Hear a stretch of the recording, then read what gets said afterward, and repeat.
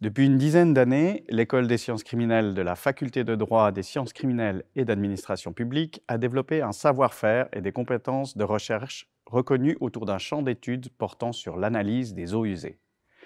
Les eaux rejetées dans nos égouts et traitées par nos stations d'épuration sont le reflet de nos modes de vie. Et en tant que telles, elles constituent un indicateur pertinent de la consommation de certaines substances considérées à l'échelle d'une population.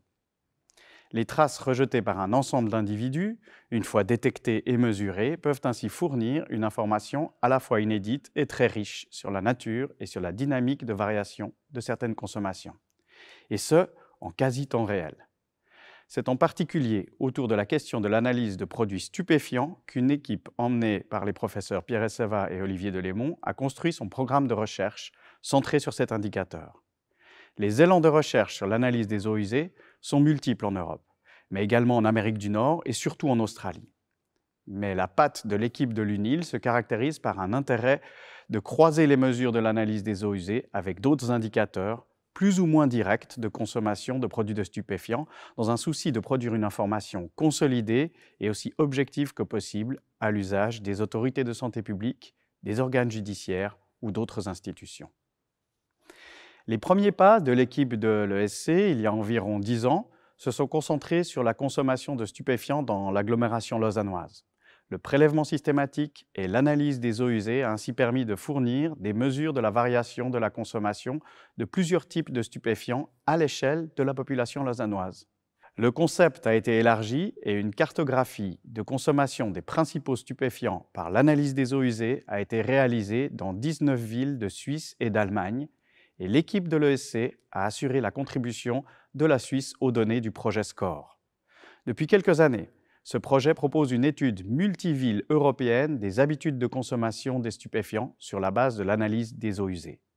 Ce sont une septantaine de villes qui participent actuellement à cette cartographie à l'échelle du continent européen. La contribution de l'analyse des eaux usées a également été un des piliers du projet MARSTUP, structure de produits de marché de stupéfiants pour le calcul des volumes de consommation d'opioïdes, de stimulants et de cannabinoïdes. De même que pour des études de consommation de stupéfiants lors de festivals de musique et dans des établissements carcéraux. Dans la période que nous vivons actuellement de restriction des interactions sociales, les eaux usées présentent l'avantage de pouvoir continuer à nous fournir une mesure de la consommation de différents produits addictifs, mesure qui peut aussi être confrontée à l'avant et à l'après Covid-19. Concrètement, suite aux mesures de limitation des interactions sociales décrétées pour cause de pandémie du Covid-19, l'équipe de l'ESC s'est mise à pied d'œuvre pour promouvoir un suivi des campagnes de collecte d'échantillons d'eau usée qui étaient en place dans plusieurs steppes des cantons de Vaud, de Genève et de Neuchâtel.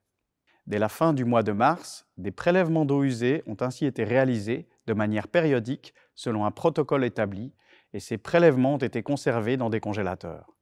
Avec la reprise des activités de recherche sur le campus de l'UNIL au début du mois de mai, l'équipe a entamé l'étape d'analyse des premiers prélèvements réalisés. Cela consiste en l'extraction et la mesure, au moyen d'une instrumentation disponible au laboratoire, d'un éventail de métabolites contenus dans ces prélèvements de matrices complexes.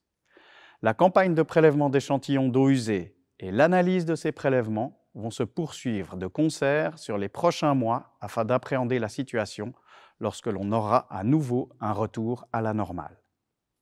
Les résultats de ces analyses, intégrés à d'autres données relatives à la taille de la population contributrice, au volume d'eau usée qui ont été délivrés à la station d'épuration, ainsi qu'à la qualité des stupéfiants présents sur le terrain, vont permettre de tracer la dynamique de consommation de ces substances et de voir si la période de limitation des interactions sociales pour cause de COVID-19 a un impact à la hausse ou à la baisse, durable ou temporaire, sur les tendances de consommation. L'analyse des prélèvements d'eau usée permettra aussi d'estimer la consommation d'alcool d'une population durant cette période. Cette mesure va fournir une image de la tendance de consommation d'alcool liée à la pandémie du COVID-19. Cela apportera par exemple des éléments de réponse à une question d'actualité qui consiste à savoir si la hausse de la vente d'alcool dans les supermarchés est le reflet d'une hausse de la consommation ou alors d'une proportion de la population à acheter plus d'alcool pour faire des réserves qu'on pourrait qualifier d'effet hamster.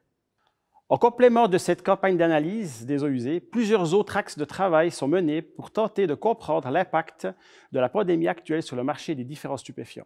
Plusieurs dimensions d'information sont recueillies, en particulier des entretiens avec des usagers ainsi qu'avec des responsables des groupes stupéfiants des polices romandes pour recueillir leurs perceptions sur l'évolution du marché.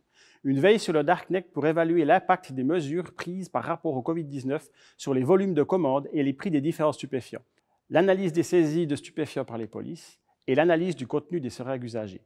Ces différentes données seront combinées aux résultats des analyses d'eau usée, ce qui permettra d'obtenir une estimation fondée de l'impact de la distanciation sociale sur les différentes consommations au temps du Covid-19.